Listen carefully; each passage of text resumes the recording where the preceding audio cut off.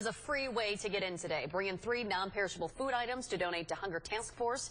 That is between noon, so right when those gates open, and 3 this afternoon. Bring in three non-perishable food items, and you get in for free today. You know who is getting in for free today?